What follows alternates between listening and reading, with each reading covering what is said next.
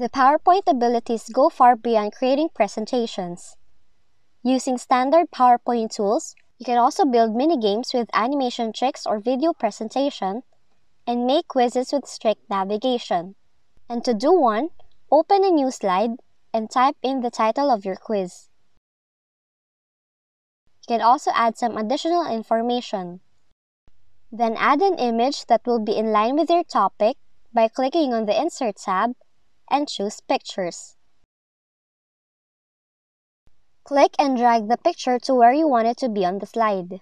Then move on to the next slide and create your question in the title box.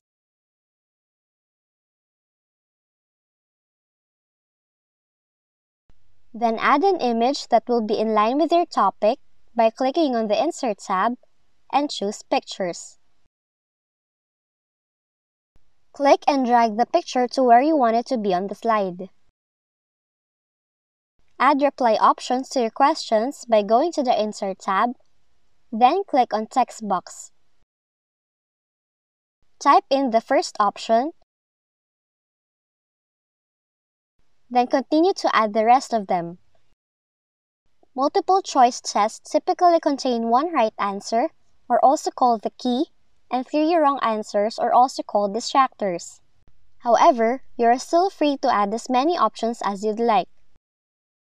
And when you're done doing the first question, add an additional slide saying that the learner has chosen the right answer or a congratulatory message.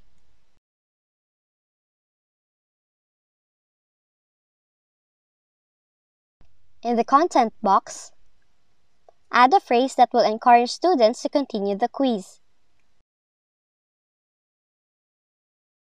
Perform the same actions to create the wrong answer slide, which will be displayed when test takers make a wrong choice.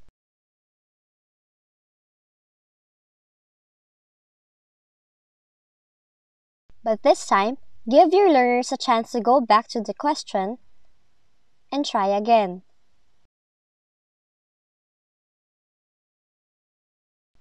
Compose the other question and answer slides for your quiz in the same way. And go on adding the correct and incorrect answer slides after each question of your PowerPoint quiz.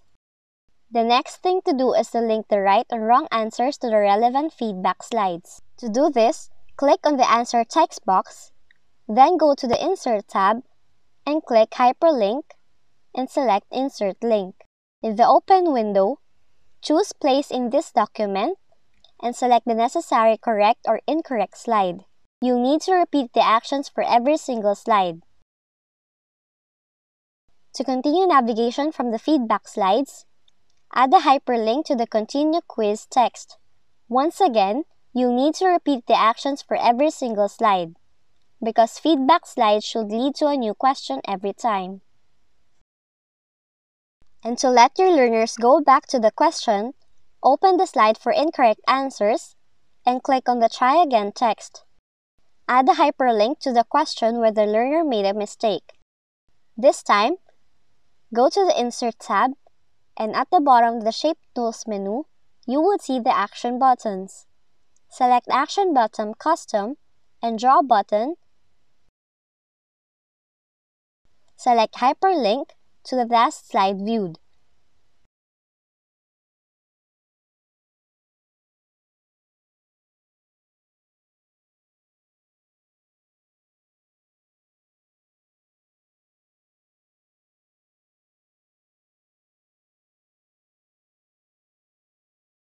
Now, your short multiple choice quiz in PowerPoint is ready. If you found this video helpful, kindly like and subscribe.